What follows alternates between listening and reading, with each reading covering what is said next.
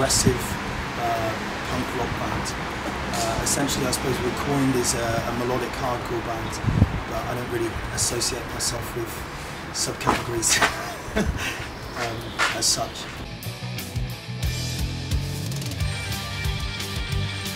Um, most of the music, uh, the music that we are uh, uh, that we write, I guess, surrounds darkness of my own mind. Uh, I suffer from, uh, from anxiety and depression.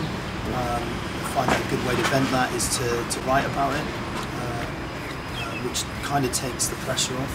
Um, but at the same time, I, I feel that there's kind of a poetic justice behind doing it that way rather than dealing with it through medication. Um, so, and I feel that it's good to talk about it. So, I, I guess that's the main, uh, the main idea behind the lyrics.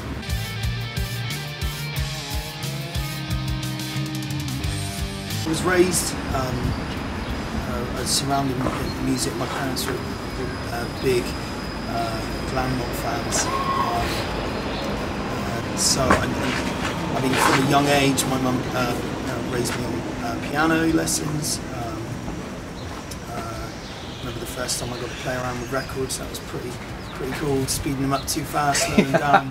Eventually, getting like finding my own taste in music, um, uh, which I guess is where I am now.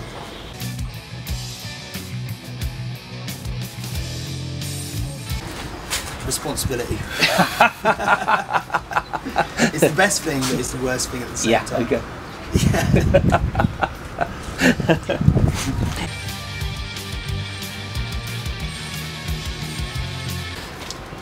Um,